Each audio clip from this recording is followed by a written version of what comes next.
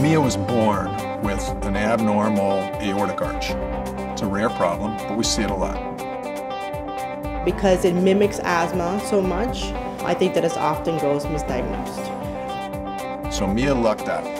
She had a really good doctor who said, I don't think this is right. So when we were able to make the diagnosis of her double aortic arch, uh, it, it was very satisfying. So then the challenge is a surgical one. How do you divide this double aortic arch and, and save her life without hurting her? A lot of these babies' hearts are like Rubik's Cubes, and you can't give somebody a piece of paper with a picture of a Rubik's Cube on it and say, how do you solve this? You have to hold that three-dimensional object in your hands and then come up with the solution. At Nicklaus Children's Hospital, we're actually using 3D printing to assist the surgeons with their surgical planning and teaching of new medical students. So having the ability to make these 3D models, to look at them on a screen, but also to print them out and hold them in our hands, has really made a fundamental change in how we view a lot of these diseases. Make a 3D model of her very complex aortic arch vessels. We were able to figure out which part of her arch should be divided to achieve the best physiologic result. I showed the family their daughter's heart. I hate opening up a textbook and saying, this isn't really your baby's heart, but it kind of looks like it here's how we're going to do the operation. That doesn't resonate with them. I showed it to them. I said, this is what's choking your baby. This is why she's taking all those medications and why they won't work. It's very powerful when you show a family, this is your baby's heart and this is how I'm going to repair it.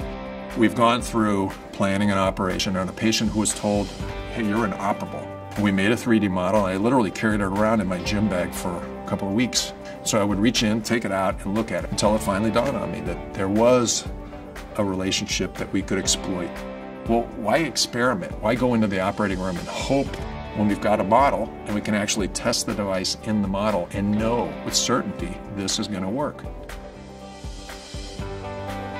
They could feel confident that we were going to do the right thing. When we did the operation, we took intraoperative images and they looked exactly like that model. From having four and a half years of not knowing to all of a sudden in, in less than a two month time frame, she's back out of her surgery and back to normal. You know, so that's been a great experience for us. She's very active. She loves dancing. She loves baseball. She likes doing everything. So now it's just going back to normal life and not being worried.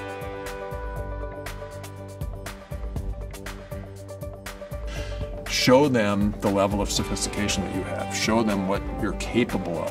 A 3D printed heart, accurate to the most minute detail, has been the difference maker for me. It's helped me take somebody from being inoperable to operable, and we've saved their life.